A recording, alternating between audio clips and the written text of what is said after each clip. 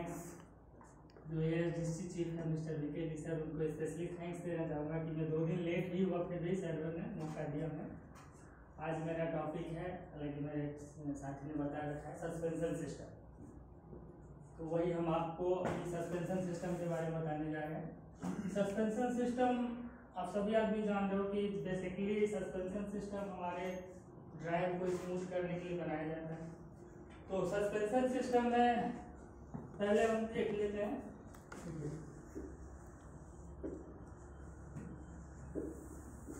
Suspension system जो है, ये आपको सस्पेंशन सिस्टम में किसी भी गाड़ी की बात करते हैं, जैसे अगर हम एमसी की बात करते हैं, या एलएमडी की बात करते हैं, या एचएमडी की बात करते हैं, यानी मोटरसाइकिल हो, या लाइट मोटर व्हीकल हो, या हैवी मोटर व्हीकल हो, ये सभी में सस्पेंशन सिस्टम दिया गया है, जो नॉर्मली क्या कर रहे हैं? रोड के मतलब सरफेस जो है, सड़क पे, जो उनके गड्ढे हैं, जो हमारे गाड़ी तक न पहुँचे व्हील के बीच संपर्क बना के रखता है। तो उसमें जो कंपोनेंट आते हैं जनरली हम जो देखते हैं कंपोनेंट की बात जब करते हैं तो इसमें आपको स्प्रिंग आते हैं।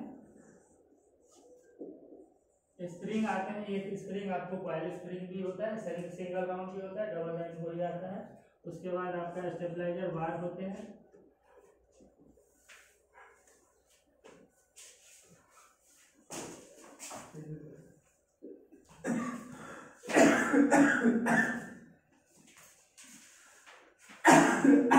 और लिंकेज आप लोग देखे होंगे सस्पेंशन सिस्टम में जो कॉइल स्प्रिंग होती है ये क्या कर रही है?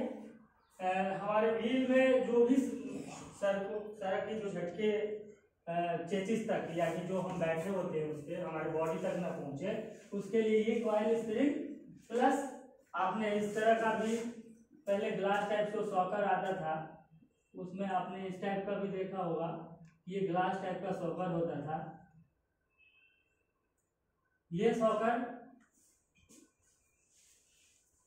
क्या करती है? जब आपके, क्योंकि व्हील से हमारा कनेक्ट होता है सॉकर हमारा व्हील से कनेक्ट होता है, और वो इस सॉकर में, अगर हम पिछले व्हील की बात करते हैं तो इसी में कॉइल स्प्रिंग को एडजस्ट कर दिया। ऊपर हमारे पूरे चेसिस से जुड़ा हुआ है यहाँ व्हील से जुड़ा हुआ है। तो ये व्हील से जो जुड़ा होता है, सड़क के झटके को, जैसे ही हम कोई गड्ढा वगैरह में जाते हैं या हमारा ब्रेकर हो, उसको क्रॉस जब हम करते हैं तो बिल्कुल गाड़ी बंद करके तो नहीं क्रॉस करना है।